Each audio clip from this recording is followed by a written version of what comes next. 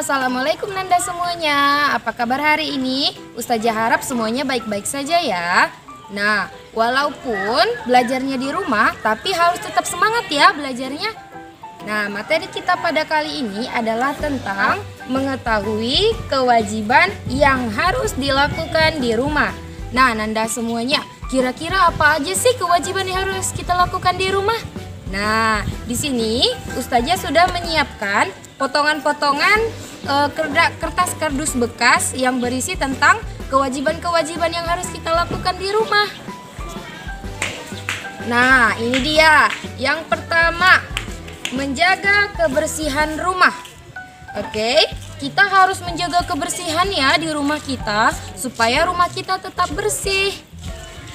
Nah, kemudian yang kedua, patuh kepada orang tua. Nah, kita harus mematuhi apa pun yang dibilang orang tua. Tidak boleh melawan terhadap orang tua ya Nanda.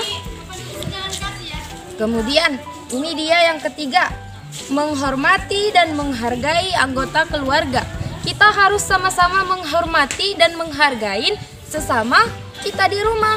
Misalnya, kita harus menghormati dan menghargai kakak kita, orang tua kita, abang kita, dan adik kita juga ya. Kemudian belajar di rumah.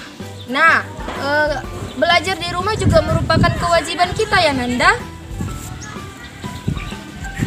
Kemudian membantu orang tua.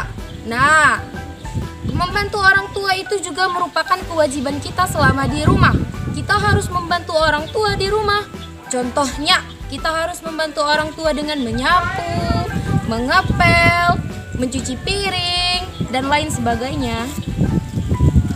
Kemudian ini, membahagiakan orang tua. Nah, kewajiban kita itu juga harus membahagiakan orang tua kita ya Nanda di rumah. Kemudian ini, membersihkan kamar sendiri. Kita juga harus bisa ya Nanda membersihkan kamar kita sendiri. Nah, Contohnya membersihkan tempat tidur kita supaya tidak kotor, supaya selalu bersih kamar kita ya Nanda. Kemudian taat terhadap peraturan di rumah. Nah, kita harus patuh terhadap um, peraturan yang dibuat oleh orang tua, yang dibuat oleh kakak, yang dibuat oleh abang. Kita harus menaatinya semua peraturan yang dibuat oleh orang tua. Ya Nanda ya?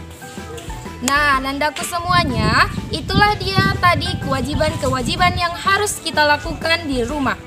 Nah, tugasnya nandaku semuanya, coba buat video atau foto yang sedang melakukan kewajiban di rumah. Terus, foto atau video itu kirimkan ke bank sekolah ya Nanda. Oke, cukup sampai di sini dulu video pembelajaran kita. Assalamualaikum warahmatullahi wabarakatuh.